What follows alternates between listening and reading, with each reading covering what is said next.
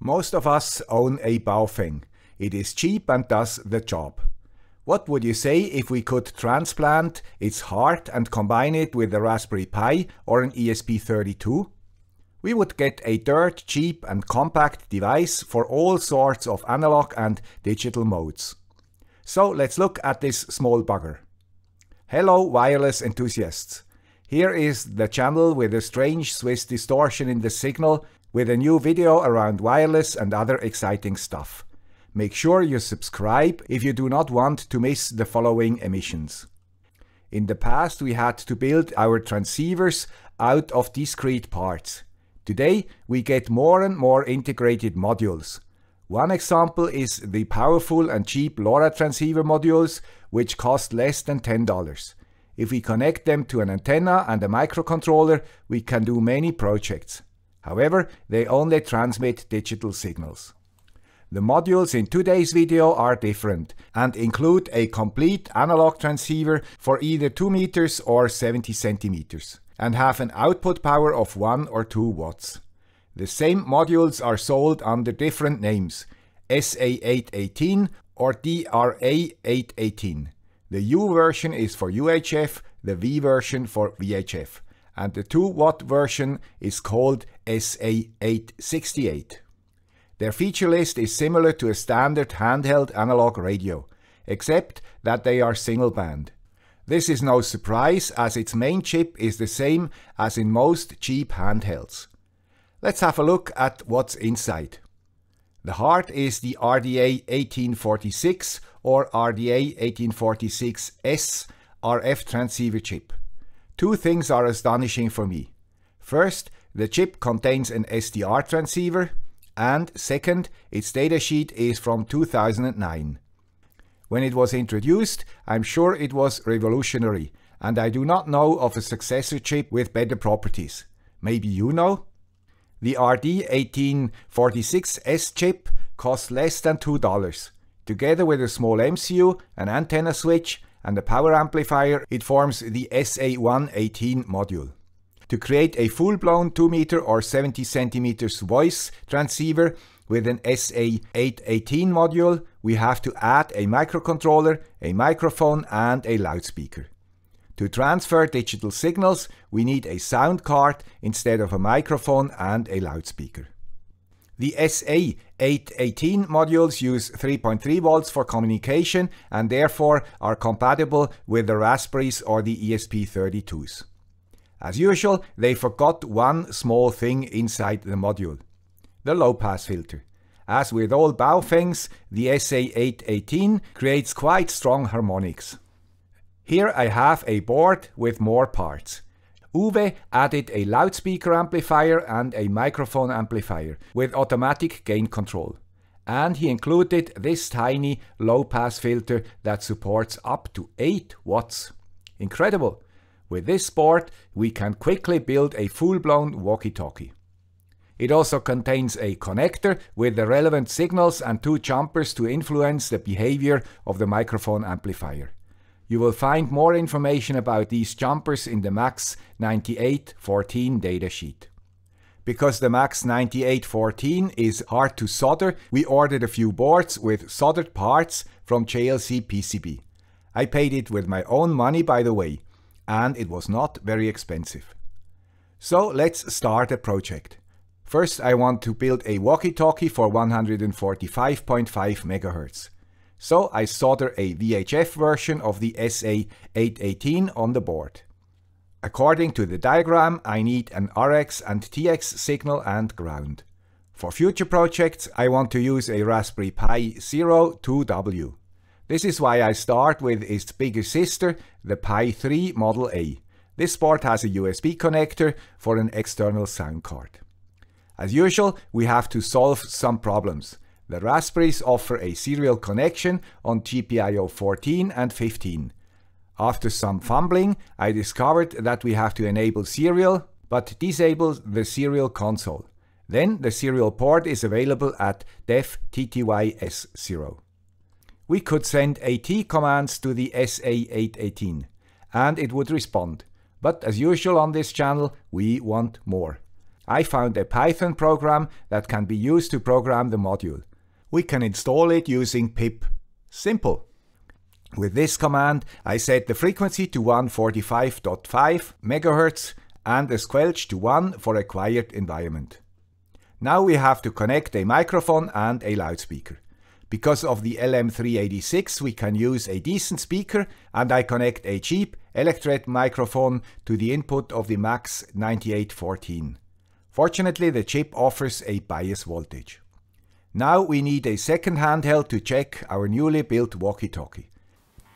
Test Hotel Bravo 9, Bravo Lima Alpha. And here comes the next hurdle. For the first tests, I screwed a small dummy load on the antenna connector and everything went fine. When I replaced the dummy load with an antenna, many strange signals appeared on the wires. I should have expected these problems because of the long wires and the relatively high output power. So I connected this J-pole antenna and put it a few meters away. Test, test, test, Hotel Bravo 9, Bravo Lima Alpha. As you hear, everything works fine now. Let's go digital. What is a good project to test if this marvelous chip also works for digital modes? Of course, Direwolf and Xastir. And how to install it? Of course, with Build-A-Pi made by Jason KM4ACK. It installs all sorts of useful ham radio programs on your Pi. The only thing you need is time. Its installation took at least 4 hours on my Pi 3. I strongly recommend extending the swap file on these small Pis, otherwise they can block. As said before, we must replace the microphone and the loudspeaker with a sound card. I use the cheapest one I found because the specs are not important. Maybe somebody with good KiCad skills replaces the microphone and loudspeaker amplifiers with a sound card chip and creates a hat for a Pi Zero? That would be awesome. I saw the cables to the microphone and the headphone jack and connect them to our board. We only need one channel by the way. If you solder your SA818 on an experimental board, you should be able to connect these wires directly to the module. Because I found a good video for the installation of Direwolf and Xastir, I can omit the setup details here. As soon as we enter the call sign, the modem speed and the GPIO number for the PTT into direwolf.conf, we can start. Because I am in the basement, I use my Anytone to create an APRS signal. And really, after tweaking the sound level, I get the messages coming. This is cool. The receiver works fine. So we go on with Xastir. First we have to add the AGWPE network, because Direwolf waits for a connection from an AGW client. Next we have to connect GPIO 25 to the PTT pin of the SA818 and go to Interface Transmit Now. We hear a packet radio signal on 145.5, so we have to change the frequency as before. RX and TX are still connected and it is quickly done. Here in Europe we use 144.8 MHz for the APRS network. Maybe Jason can help us to find a way to automate the frequency adjustment before we start Direwolf? Then our solution would be better than a standard Baofeng. And did the signal arrive on APRS.FI? Yes, it did. Fortunately, I'm not far from an APRS iGate, and it heard me from the basement. Now I can start to send messages via the APRS network. The next frontier will be WinLink, and I hope it will run too.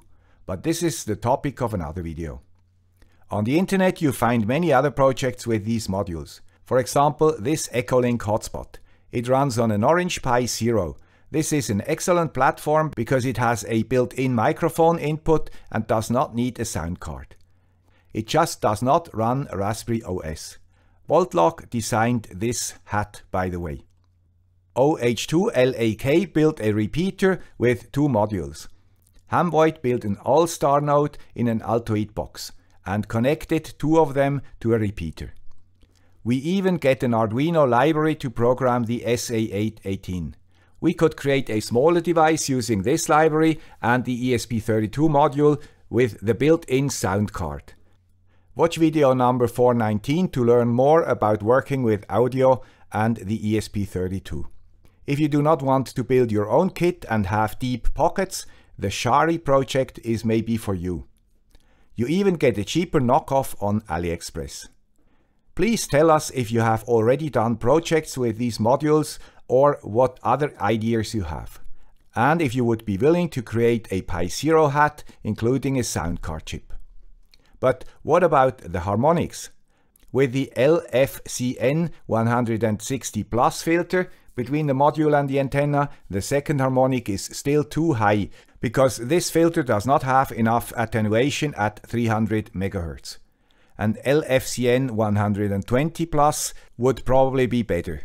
For 70 centimeters, you get the LFCN 400 or 490. Also here, the 400 is probably the better choice. I also found these SR-FRS modules. Unfortunately, I did not find a lot of information about them. Maybe you know more? The Dash 4 module are rated for 3.5 watts, by the way. That is all for today. As always, you find all the relevant links in the description. 73 to everybody, and please consider supporting the channel by using the links in the description. See you in the next episode.